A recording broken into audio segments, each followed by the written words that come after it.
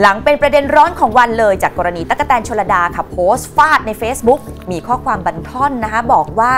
มีกระเทยรักเพื่อนที่เป็นนักร้องลูกทุ่งคนหนึ่ง รักเพื่อนแบบไม่ลืมหูลืมตา รักแบบฉุดกันลงเหว เพื่อนมีความคิดเร็วๆกระทำกับรุ่นพี่แบบแย่ๆ แทนที่จะดูเหตุผลว่าเกิดอะไรทำไมเพราะอะไร แต่กลับเข้าข้างเพื่อนแบบหลับหูหลับตา งานนี้หลายๆ คนพุ่งเป้าไปที่คู่หูจ๊ะเอ็มเต็มๆค่ะ งานนี้จ๊ะนงพนีนักร้องลูกทุ่งชื่อดังเธอก็โพสต์เคลียร์ข่าวเลยบอกว่าอ้าวกรณีมีเพจหนึ่งมาโยงว่าเธอและเพื่อนซีเอ็มตามใจตุ๊ดมีปัญหาแตกคอกับนักร้องรุ่นพี่อย่างแตน ตั๊กแตนชลดา ก็ระบุว่าจบนะคะ อักษรย่อจอจานออ่างเนี่ยไม่ได้ทะเลาะกับใครค่ะ ส่วนเรื่องแชทลับใครมีส่งมาเลย เพราะตัวเอมเองเนี่ยก็ไม่เคยพูดถึงพี่เขาเลย ไม่เคยเจอกันด้วย อย่าโยง อย่าพิมพ์สนุกกันไปค่ะ คนโดนโยงเขาไม่สนุกด้วยจ้า จากนั้นก็มีการแชร์ข่าวจากเพจคนลูกทุ่งนะคะ มีการรายงานว่าจ๊ะและเอมเนี่ยยืนยันไม่เคยมีเรื่องผิดใจกับตั๊กแตน ในเรื่องนี้ทางคุณท็อปสราวุธนะคะก็ไปสืบในทางลับจากหลายสายข่าวเลยทีเดียวเน่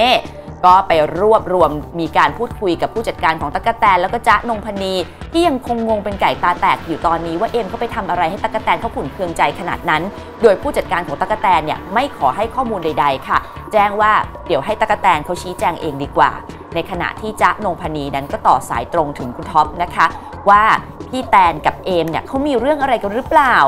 ถ้ามีผิดใจอะไรเนี่ยก็พร้อมจะเปิดใจคุย และจ๊ะก็ได้คุยกับเอมแล้ว ไม่เคยผิดใจอะไรกันกับพี่ตะกะแตนนะ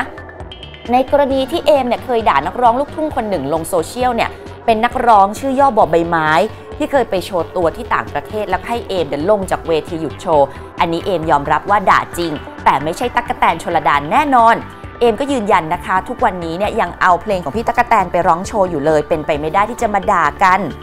ในขณะเดียวกันค่ะทางคุณท็อปสราวุธก็ไปสืบข่าวจากอีกแหล่ง ว่ามีแชทหลุดจากกลุ่มหนึ่งที่มีกวนเก้งกวาง แล้วก็รวมสารพัดแดนเซอร์ในกลุ่มเนี่ยบอกว่าเอ็มแชทด่าตะกะแตนในกลุ่มนี้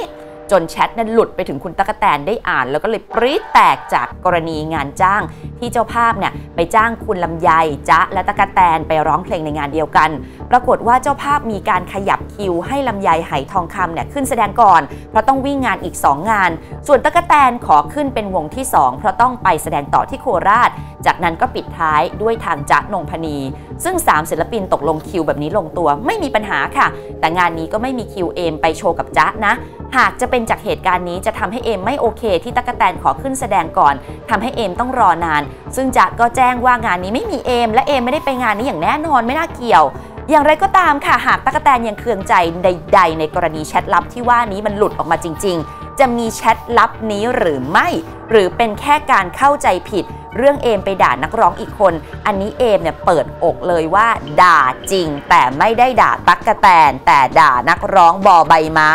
ในเรื่องนี้คงจะมีบทสรุป ถ้าทุกฝ่ายเนี่ยเปิดใจคุยกัน ขณะที่จ๊ะก็พร้อมจะคุยและอยากเคลียร์ใจด้วยเช่นกันนะคะจ๊ะเองมีการเข้ามาคอมเมนต์ว่า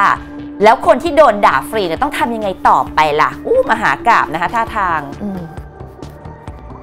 ขอบคุณทุกคนมากเลยนะครับที่ติดตามพวกเราผ่านรายการ Entertainment Day นะฮะ แต่ว่าพวกเราก็มีอีกหลากหลายช่องทางครับ ไม่ว่าจะเป็นทั้งทาง YouTube แล้วก็ทาง Facebook ด้วย ซึ่งก็สามารถไปเสิร์ชกันได้ที่ True Insight นะครับ ฝากกดไลค์ กดแชร์ Subscribe กดกระดิ่งกันให้ด้วยนะครับ แล้วก็มีอีกหลากหลายช่องทางด้านล่างนี้ได้เลยครับ